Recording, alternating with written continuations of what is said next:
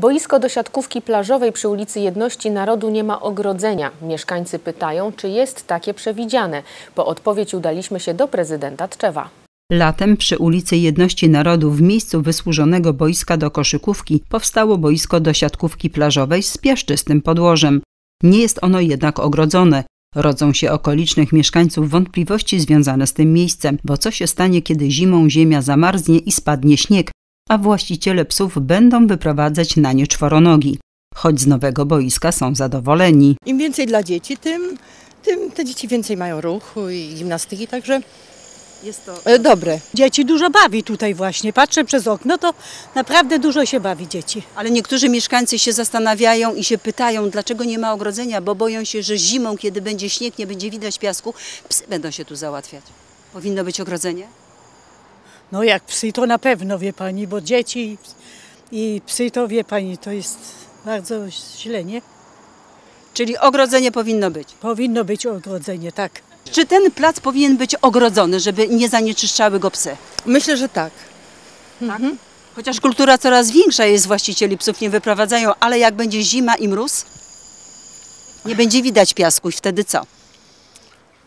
Nie wiem, ale wie pani, powinno być chyba ogrodzone jednak. Pojechaliśmy z kamerą do ratusza, aby zapytać prezydenta Tczewa, czy boisko zostanie ogrodzone i przekazać wątpliwości mieszkańców odnośnie wyprowadzania na nie psów. Uwaga bardzo słuszna. Ona dotyczy po pierwsze pewnej kultury właścicieli piesków. Posiadanie psa to jednak jest pewne zobowiązanie i obowiązek dla właściciela. E, Na szczęście jest coraz lepiej z tym w mieście i sam jestem wielokrotnie świadkami, jak właściciele piesków sprzątają po swoich pupilach i to należy e, przyjąć z dużym zadowoleniem. Natomiast rzeczywiście em, pieski to jest jakby jeden problem, drugi problem to jest jakby ochrona tego miejsca e, zabawy dzieci E, i e, uwaga pani redaktor jest całkowicie słuszna.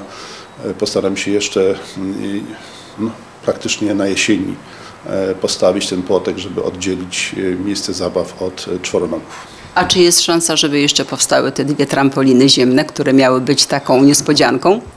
No y, tutaj ja nie mam wpływu na tempo, to jest wszystko uzależnione od procedur przetargowych. Y, Poczekajmy, y, różnie z, tymi przetargami bywa. Mam nadzieję, że jak najszybciej to zrealizujemy. Czy to będzie jeszcze teraz? Trudno mi naprawdę to powiedzieć. Boisko do siatkówki plażowej i doposażenie placu zabaw przy jedności narodu było zrealizowane w ramach budżetu obywatelskiego. Niektóre inwestycje wymagają jednak przeprowadzenia procedury przetargowej, a to czasami oznacza przesunięcie zadania w czasie.